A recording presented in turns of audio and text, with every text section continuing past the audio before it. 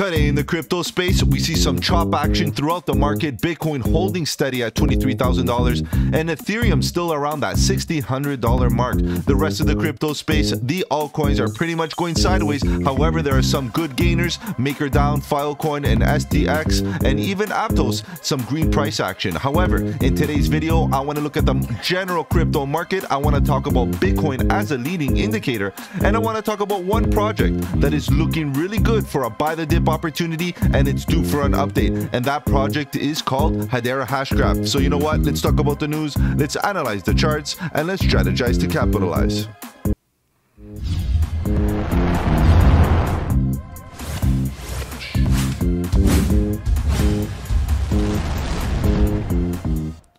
Welcome to the channel. My name is Mike, and let's get right into it, guys. We see that the market is going sideways, and this could be an opportunity to buy the dip or maybe take some profits. Guys, on the channel, we talk about crypto. We look for opportunities throughout the entire market, whether we go up or down, bearish or bullish. We want to make sure that we are one step ahead of the market. Buying the dips and selling the highs is the way you capitalize on that volatility. And if you appreciate that strategy, do yourself a favor and subscribe to the channel. Click the bell button so you don't miss out on any of my future videos. And of course, you can follow me on all those socials. And even better, join me live 7.30 Eastern, six evenings a week. We talk about crypto news and price action. So what can we see in this general market? Let's begin Bitcoin still chopping away, going sideways. Guys, I was very hesitant, very hesitant considering the fact that the both the four hour time frame and the daily time frame were in the middle of the range on the RSI, right in the middle, smack in the middle. And is that is usually the area where we get indecision. Indecision price action means choppy, choppy price action and very, very difficult to trade. Liquidations, stop losses, trading fees all of the uh, uh, all of the above basically ruin a crypto trader's life at this point. So I don't want to get into involved in that. I'd rather wait on the sidelines, wait for good signals, for good rallies, good pumps or even dumps. And in that case, we are ready to pounce. Ethereum at the top of the range, very much so, very similar to Bitcoin type of thing. But Bitcoin just in the last little while took a little bit of a dip. And of course, this morning it looked a little bit bullish. And, uh, and this is the thing that I'm expecting, this chop action in the middle of the range. BNB, same thing, going sideways. XRP going sideways. Many of these altcoins are still in that consolidation or sideways price action. There are a couple good gainers like Litecoin getting a nice little pump. Tron at the top of the range looking a little bullish. If it breaks out, maybe we can get another pump to the upside. Very possible. Toncoin still looking good. However, getting a little bit of a retracement on lower time frames, down approximately two and a half percent. Um, we have Filecoin getting a little bit of a rally, but it has been down approximately 3.5% in the last seven days. And Filecoin has dipped quite a bit, has pulled back quite a bit, and an 8% relief rally, to tell you the honest truth, is not much considering that it dipped significantly already. However, if Bitcoin continues to show weakness and to show that the fact is that the bearish divergence is still in play, guys, I'm expecting a continuation to the downside. We're going to look at the Bitcoin chart very soon. And of course, we're going to talk about um, Hedera Hashgraph. First, we're going to look at the general market. Then we're going to look at Bitcoin and as a leading indicator. Bitcoin tends to tell us what to expect from a broad perspective because if Bitcoin comes down, you expect altcoins to come down. If Bitcoin rallies, altcoins will rally. So we try to use Bitcoin as a leading indicator. And of course, the volatility is definitely more in, in altcoins. We see a lot more volatility and much more opportunities to make gains in altcoins. So that's why we kind of combine both analysis here on the channel. And of course, guys, if you have any other projects that you want me to cover here on the channel, let me know in the comment section below, or you can hit me up on those socials. Even better, join me live and you can request them um, as we speak. Okay, let's continue down here. Aptos getting a little bit of a pump up approximately 7%. That is pretty good. That is looking good as a nice relief. But Aptos in general has retraced significantly already. So a little relief of 6% is, is decent. But in the grand scheme of things, Aptos already dipped like I think around 30% or so. Okay, so um, I think we're due for an Aptos update um, this evening. we will take a look. VeChain, I'm interested in VeChain. I want to take a look at VeChain, Cronos, CRO bottom of the range, near protocol, bottom, bottom of the range, and of course the token for day for today, HBAR, Hedera Hashgraph, still bleeding out, looking a little bit weak, but we are getting to critical areas of support. This is the good thing. In the short, short term, we can get into a quick scenario. We can get into a quick rally to the upside, or we can eventually break down so, uh, below these critical levels of support. So this is why I am coming to you with a video today on Hedera hash graph because it does look like we could potentially get some volatility in the short term and eventually fulfill our long-term analysis on the daily, which would be a continuation to the downside. So we'll get into it very shortly. Let's continue looking down. Algorand still at the bottom of the range. Quant at the bottom of the range. Many of these projects. Stacks is still looking bullish, but this bearish divergence maybe could come into play very, very soon. And then we'll see those retracements. The narrative behind Stacks is definitely very interesting. Um, the layer two solution to Bitcoin offering smart contracts to Bitcoin is something that could be you know, lucrative going forward, considering that, you know, uh, um, uh, Gary Gensler, the, the administration want to deem every other project other than Bitcoin as a security. And that is, you know, somewhere where stacks could kind of circumvent some of that regulation or some of the spotlight. Fantom looking good at the bottom of the range, looking for buying the dip, but look at EOS getting that rally, getting that pump to the upside. However, still potentially looking for a rejection at previous highs. Okay, so the market's looking pretty good. In general, we have some good gainers, Synthetix, uh, we have good uh, Frax up, KuCoin looking healthy. MakerDAO looking he healthy. Uh, what else do we got here? What else do we got here? Gate going sideways. But generally speaking, the market is going sideways. These AI tokens are still doing well, up approximately 5%, 4% in the last 24 hours. But I still feel that bearish divergence will still come into play. This high that we're at right now, this pump that Singularity got, is not as strong as the previous, and you can see that the momentum oscillator is looking a little bit weak in comparison. Guys, I'm not starting uh, trying to spread FUD on Singularity, but uh, for me, from an, a, a, trading perspective, this is not the time to meet for me to get in. I'm waiting for significant pullbacks, especially on such pumped tokens with tons of FOMO and tons of you know hype. The, the the dumps could be really strong at the same times the pumps could be really strong. I just don't feel the risk to reward ratio to be absolutely healthy for some of these AI tokens. GMX, I'm looking for an opportunity. Bitget, also looking for an opportunity. Once this thing pulls back, I'm going to start scaling into Bitget. I believe that it's going to have some good, good traction in the next bull run. And yeah, so far, nice momentum to the upside, approximately um, 9% in the last seven days. Pretty good, pretty healthy. Optimism still in that slumpy look.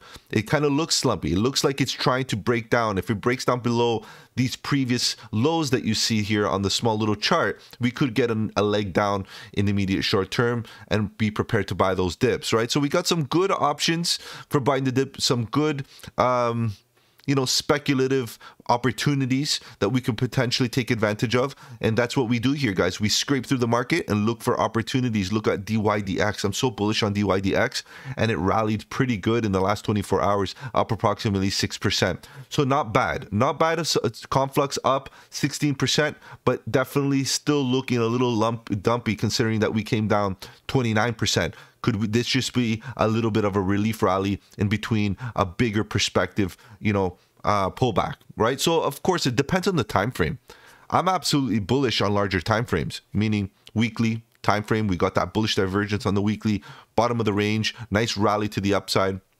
I totally scaled in on that divergence on the weekly. However, the daily, we can see that we already kind of made a good move, and a lot of the oscillators are showing us that, that we're at the top of the range. We came from the top of the range on the momentum oscillators on the daily, and we're looking for that reset, which we didn't completely reset. Okay, guys, I know you're here to talk about charts, so let's get right into it. What is Bitcoin saying? Bitcoin, as we speak, is still chopping away, going sideways. Earlier on today, we looked at this price action, and it looked really bullish. A lot of people were coming out, a lot of the bulls were coming out of the woodworks talking about bullish momentum to the upside, and I believe that we will get that. But I'm not confident just yet. I turn from a bull to a bear, a bull to a bear, depending on what I see in the price action. As a trader, it's important that you change lenses and change perspective based on the data that is presented to you. Personally speaking, at the moment on the four hour, it doesn't look bad, but we are still ranging within the mid range of the RSI. This is is chop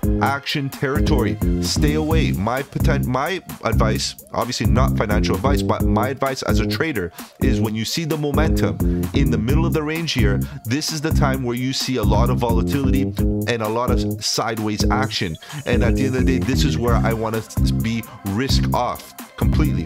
But if we get into higher time frames, it tells a little bit of a, a different picture. It's see you can see that the bearish divergence is still in play, and the question is, what could we expect in the upcoming days? Okay, so let's look at Bitcoin from a bigger perspective here we do see um, a potential continuation to the downside. Now, there is an upward sloping channel here. Now, the channel is uh, drawn a little loosely. We can tighten it up just a bit okay, to touch a little bit more of this price action at the bottom fine. That's as comfortable I'm going to uh, go because at the end of the day, we have this 200 EMA right here creeping. We have the price action, which is the, the wicks that kind of went down to this level. We got to respect that. The fact that we are going to respect this price action means that we need to respect the fact that this price action where we are right now could come and tag in this trend line once again. The trend line is only one touch really right now. We try to there's only one touch. This is doesn't even justify trend line at the current moment. The only thing that I can say is that we have a scenario where we're losing a little bit of that momentum. If this was a strong pump to the upside, we would have definitely touched this trend or at least get a little bit higher. And we got a rejection. We got a, a clear rejection at previous highs, and we created a higher high with the bearish divergence on the RSI, creating lower highs on the RSI. We're getting some follow through price action that we're looking out for, clearly looking out for. If we create a shoulder here or some sort of price action that creates a, a lower high, guys, that would be some follow through price action that would just basically confirm the fact that we are looking for lower levels, right? So, so far, so good. We're holding steady, nothing to worry about other than the fact that if we break below um, i would say 22630 or so um, yeah it looks like we're gonna snap to about 21900 and then lower targets here we come. The neckline of this potential consolidation or the in um, the break of structure of this consolidation period is below that 200 daily bounce that we got here at 21500 and then it doesn't look great. Look at the emas on the uh, MACD still facing down. Yes, we got a pale green, uh, red histogram bar, which is, you know, coming down it, it's still in the bearish control zone re regarding the MACD histogram bars, but the EMAs are still also still uh, folding down, and that just kind of shows us that maybe the price action or the momentum is trying to get into the bearish control zone. Okay, so this is anticipated on the daily. I'm looking for a full reset on the daily, and then I'll start to get bullish again. The four hour, on the other hand, we could come down for another test at lower levels, and we could get a bullish divergence. It's very possible right? We didn't even completely reset on the four hour, guys. That's that's for me is looking a little bit like let's hold on for a second. We look at that. We didn't even get into the extreme levels of the RSI. So I'm not going to get totally bullish eh, for a reversal here. The only thing that I can say is that the reason why we got support here on this RSI is because the price action got support off the 200. And we know that the 200 is a very strong area for a support or resistance. And that's what we got to take this as. This could be a little bit of a bounce before we test this trend line. And then we test real areas of support, which based on the supply and demand, price action wise, we have a lot of bottoms down here that will act as support at 22,650. This support, honestly, we could get it. We could rally higher but i'm not totally convinced particularly particularly with the fact that look at the volume profile. We got a lot of chop action there a lot of chop that could act as support or resistance in this case to a continuation to the upside. So before i actually actually go super bullish I want to make sure that we clear all this chop action. I would be looking at maybe about 23,000 or $24,000 at minimum before I would consider maybe opening up a small position to potentially get up to about 24,500. And then, of course, this top here will be the next area of resistance. We have a lot of resistance, a lot of work to get through before we continue upwards. Whereas if you look down, we got clear gaps, a lot more of a gap here happening, and we got a lot more of a gap here down here that looks a, like a great opportunity to come down. Okay, guys, so so far so good. I'm waiting for the daily to reset. Again, just as a recap, the daily to reset and come down to the extreme levels of the RSI before I go bullish. On the four hour, it looks like we're in, still in that chop zone not really coming from the extreme levels. We didn't hit extre- extremities since this rally. So I'm I'm I'm holding steady. I'm waiting for extreme conditions before I can expect extreme volatility, and that's the way you get, get make gains, guys. Is looking for extreme conditions for extreme volatility. All right, guys, let's talk about H bar. It's been a while. It's been a while since we talked about H uh, H bar. H bar has a great community, great fundamentals. Dell's on board, Microsoft is on board. Whether you like it or not, those guys are heavyweights in the tech space, and I'm expecting them to bring liquidity to the project, regardless of your opinions um, about these um, institutions or businesses that are involved. They bring liquidity to any market or any project that they look what they did with uh, ChatGPT. Uh, meaning Microsoft, $10 billion. That's liquidity right there. So we got to anticipate that the backing is definitely there for Hedera, Hashgraph. And in fact, uh, Hedera Hashgraph community is so strong and so enthusiastic about the project that it's almost like a fundamental. It's a pumpamental. It's a it will definitely pump the price. The fact that the community strong helps with the um, the price action. Definitely. Okay, so we broke down through this trend. Uh, we anticipated the bearish divergence here based on the momentum. Higher highs on the price action, higher lo uh, lower highs on the RSI. And this is on the four hour, four hour. Okay, so this is important to identify. Now let's quickly get into the daily to see if there's anything to uh, be aware of. You can see that on the daily we are trying to reset this RSI. I'm almost getting into a bullish stance regarding regarding Hedera Hashgraph, ready to deploy capital. And you're gonna see me turn into a bull real quick as soon as I see the daily show some support. Okay. Okay. Now, one thing that I want to address, and I'm going to kind of clean this TA up here with you guys because it's been about two weeks since we talked about Hedera Hashgraph, I think. Let's look at this. When was the last time we talked about HBAR? Yeah, about two weeks two weeks ago uh, we talked about it and i think we're due for an update but we can see that the volume gap down here that we identified is still there right and this would be a deep retracement a nice retracement opportunity to buy dips Okay. And then we have another scenario um, that I would like to pay attention to. And excluding previous price action, I just want you to be aware that there's a fat gap right here right? Excluding this price action right here, just uh, regarding this pump. And we have to hold um, this price action more accountable, meaning set higher precedence over it because it's the most recent. And technically speaking, a lot of this price action scrubs out the supply and demand of previous price action, okay? Because we got a lot of traders that got in in this scenario, liquidated, stop loss, profit taking and so on that no longer have a, as much how can i say influence over the supply and demand or support and resistance areas in the current price action. So we kind of have to take it with a grain of salt. But this would be both price action both previous and the current price action down here has a huge gap huge scenario huge opportunity. Now if we exclude it and we use just this we can see that we have an opportunity as well, a bigger opportunity. Okay. But look at the common factor. The common factor is still this zone right here between five cents and, and a bit to about, uh, sorry, 4 point, uh, 4.9 cents to about 5.7 cents, which is that is the common factor gap that we have here that we can fly right below and get a nice 13% fire sale just from this little dip, right? But you can see based on the current scenario, H bar is fighting this point of control. Just with this price action, the point of control is confluent with the 200 daily EMA, that this orange line, it's trying to stay above. It's getting rejected. It is looking a little weak. However, guys, if we stay above, and sometimes we do stay above this zone and we get a little bit of a pop to the upside, it's looking good. Okay. In fact, this is not a buy a bad buy the dip opportunity to be honest. It's a good scenario. The reason being, we could definitely get a little pop to the upside based on the four hour time frame. Okay, so this is the daily. Daily perspective.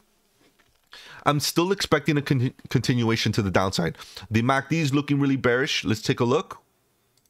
Look at that. Coming down. Red histogram bars. EMAs are facing down like crazy, right? Um, that's a little bit of a warning to, to be honest. When things are so strong, when the price action is so strong in one direction, you start to feel like, okay, take it easy. We need a relief. We need some relief, right? So here we are coming down. The uh, is coming down. The MACD is coming down. We're looking for a support. Now, point of control here at six, seven cents or so. We can see this red line. That's the point of control. Um, previous price action. Huge amount the 200 daily. It fell below. Could we get back above? Possible. But more or less this is the zone that i'm looking out for. So now let's go into the four hour you can see that the four hours showing us a short-term potential bounce okay? Maybe a relief rally maybe a dead cat bounce. Whatever the case is the momentum oscillator is showing me a little bit of hope that we could get some relief now, let's be careful here because if we snap below this green arrow or this yellow line right here, okay, I'm, I'm expecting to buy the dip because at the end of the day, this is not a bad retracement. And based on the four hour, we can see that we could potentially get some relief. But if we break below, the next areas where you should have some capital ready to buy the dip even heavier, which is these other green arrow scenarios, right? I'm going to kind of... Um, move them over a bit because I put these in two weeks ago and they still hold validity. They're still valid price targets, okay? But let's look at the momentum oscillators for a second. What's happening here? Okay, it looks like a beautiful pivot point in the extreme levels of the RSI of oversold territory. That's when you start to pay attention to price action and critical levels of support. We identified this area as support already on even higher time frames, and you can see even on the four hour, the gap begins right about here. Okay, based on these this green arrow. Now, is there bullish divergence? The question is, is this a pivot point where we can see that the momentum is kind of shifting in the opposite direction? Okay, so let's take a look here we see that the MACD or the RSI is coming down at this point, but then we slowly start to move upwards. What's happening in the price action? Completely coming down up until today's price action. And if you include these two bottoms, one here and one here, look at the RSI. It's pivoting. It's going in the opposite direction. That's class A bullish divergence on the four hour. Let's get in the in the hourly. I barely go in the hourly, but sometimes it's nice to get some of that confirmation because you get more detail in the price, in the price action. Right now, this would be a follow through shoulder, meaning a confirmation low, a higher low in this pivot point, meaning that this is not a bad time to go long. I know what you're thinking, guys. You're talking, Mike. You're always you're bearish. Lately, you've been bearish. You're looking for lower targets. I am. In the grand scheme of things, on the daily perspective, I still feel like we have some more downward pressure. But right now, it's time to look at the four hour and look at the potential bullish scenario or the potential bullish setup on H bar that you can get here. You can get into a nice trading scenario. Okay, so uh, even with leverage, if you're okay with leverage, make sure you set those stop losses. But for leverage, I would like to see some M patterns here, some sort of uh, W, some sort of inverse head and shoulders, something. But we might not get it, and the reason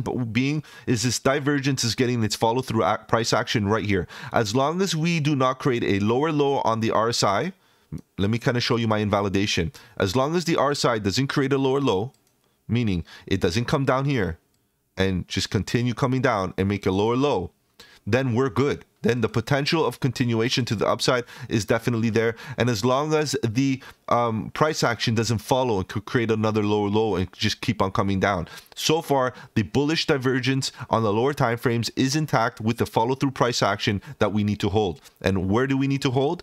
Uh, let's get some trade setup going here regardless, we need to protect capital. I'm looking at on the four hour that we could potentially hit this resistance level, okay, at about uh, seven and a half cents. But look at your stop loss. I wouldn't put it lower, uh, right around, I would put it right about there. Give it a little bit more, even 2%, no big deal, right? 2%, sure, right around there. Give you a four to one ratio, which is healthy. 2%, four to one, sure. Now you can see what happens here based on the supply and demand, based on what's happening, we could get a little bit of a bounce. But mind you, I just want you to be aware. Look at this chop. Okay, it's going to be a bit of a struggle, but look at the chop. Let's get in the daily quick. Is there any eh, any resistance? There's a lot of resistance, but nonetheless, it's chop. We could get a nice little slow bleed to the upside as a retracement. We know that retracements are usually choppy they're, they're ABC corrections to the upside. We could get those ABC moves, those uh, quick uh, little chop choppy moves to the upside, and then finally get another leg down that is a lot more smoother than or than than a retracement. So what I'm trying to say here is this. Let's kind of rearrange. Uh, let's get my pen marks out. What we could do is get some a bounce here, chop up, chop up, chop up, and then finally continue and continue coming down. If we break this neckline, guys, or this this zone of support, we are coming down to hit those other price targets, fulfilling the analysis on this daily where we are looking for a reset on the RSI. So short-term bullish, perhaps a good uh, trade uh, setup. This wick right here is good. I like this morning star. It's looking really good. It's an indication of a pivot point to the upside, to be honest. Look at this one right? Pivot point to the upside and the continuation, right? When we get those right here, look at right here, another one. Pivot point to the upside. Could we get that little pivot point, retracement, and then continuation to the downside? A good level of uh, resistance is also right here at about 7.8 cents but I would I would take profits, guys, early. I wouldn't leave them here. I would take profits, start scaling out, four to one ratio, start scaling out, taking profits early because at the end of the day, the daily is showing us that the momentum is still coming down right? So another indicator for taking profits is wait for the four hour RSI to reset. Okay, let this RSI get to the extreme conditions again. Even more so, if you want to be safe, let's see where the where the hourly goes. I don't trade the hourly, but sometimes I use it for exit. You know just look to just to be safe that i get out at right times wait for the hourly to get extreme levels and then try to focus on the four hour. When the four hours gets to uh, extreme levels start taking profits bit by bit trailing up those stop losses and hopefully you can get some good gains. Percentage wise what is that? Potentially 10% that's not bad of a trade with a little bit of leverage with risk management. It's not a bad scenario just mind you, Bitcoin right now is consolidating in the middle of the range. If we get a little bit of relief, we could see Hedera Hashgraph get some relief as well. Bitcoin on the daily is still looking for that downwards momentum. So is HBAR, so are many of these alts, but we can get short-term pumps to the upside in the meantime, satisfying the ebb and flows of the market that we usually get and that we try to ride here on the channel. Guys, if you appreciated the analysis this afternoon, do the channel a huge favor, slap that like button, because as a new channel, the support is greatly appreciated. And of course, guys, you can follow me on all those socials, but more importantly, subscribe to the channel, click the bell button so you don't miss out on any of my future videos.